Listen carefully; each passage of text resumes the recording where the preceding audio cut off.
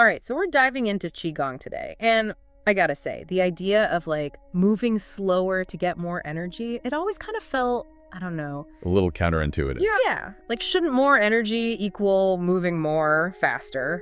But then I started looking into the research, and it's clear there's a lot more to it than just like waving your arms around slowly. Absolutely. And a big part of that is this concept of qi, you know, this vital life energy that's flowing through us.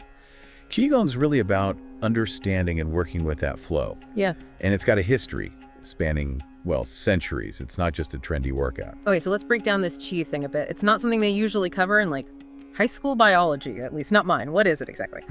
Right. It's a core idea in traditional Chinese medicine. Yeah. And it's basically the vital energy that animates all living things. Think of it like your internal battery pack, almost. And Qigong, with its emphasis on breath work, slow movement, mindfulness. It's like plugging yourself in for a recharge. So, less about building muscles or running a marathon, more about cultivating this like inner energy source. Exactly. And what's really cool is that while it's rooted in these ancient practices, modern science is starting to understand how it works.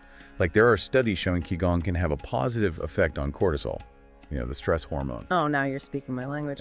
My to-do list already feels less intimidating. But beyond just stress, you mentioned that in traditional Chinese medicine, they use Qigong for overall well-being. What else can it help with? Well, something that really jumped out at me was its potential for dealing with pain.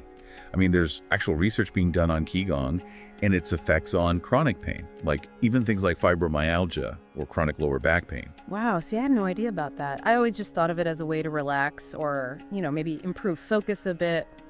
This adds a whole new dimension. It does, and it goes back to that mind-body connection. With Qigong, you're moving mindfully, paying attention to your breath, to how your body feels, and that increased awareness can help with things like balance, coordination, all sorts of things. It really is like hitting the reset button for your whole system. It makes you wonder, in a world that's constantly telling us to go, Jogo, do go, could slowing down, even for a few minutes a day, actually be the key to accomplishing more? It's a fascinating thought, isn't it?